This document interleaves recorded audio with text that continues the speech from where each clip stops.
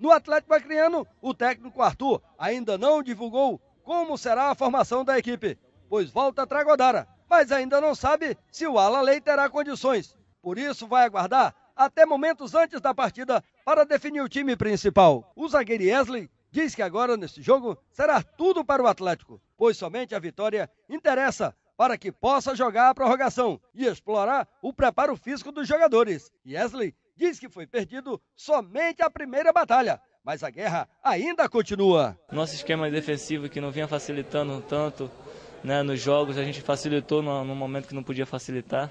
Agora é levantar a cabeça, é trabalhar forte, igual a gente já começou os trabalhos, estamos trabalhando forte, para já no próximo jogo a gente demonstrar aquilo que a gente sabe e sair com resultado positivo. Essa é a chance, vocês vão ter aí a oportunidade de saber com quem vão jogar já afinal se passar, né?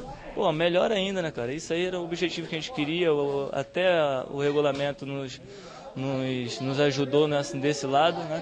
E a gente tem que fazer nosso papel, não adianta a gente ficar torcendo lá por, por os outros resultados e a gente não fazer nosso papel. Então a gente tem que ir lá independentemente do resultado do, dos outros jogos, a gente tem que ir lá fazer nosso trabalho e fazer bem feito para a gente sair com resultado positivo e consecutivamente ir para essa final.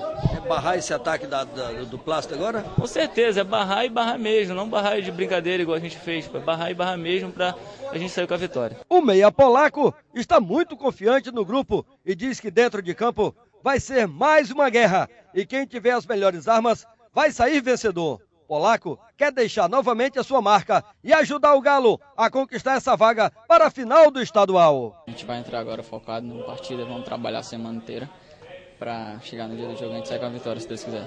Como é que está sendo esse entrosamento ali? Como é que, que o Arthur pediu para você já? Porque nesse domingo é tudo ou nada. Até agora, no momento, ele não falou nada, né? Só falou para a gente trabalhar mesmo focado no jogo, que o que passou já passou, o que a gente tinha de errar já errou. E vamos entrar em jogo para a gente ganhar. Se a bola pintar ali na frente, Marca mais um? Se Deus quiser, né? O pensamento é esse para fazer um, um ou dois.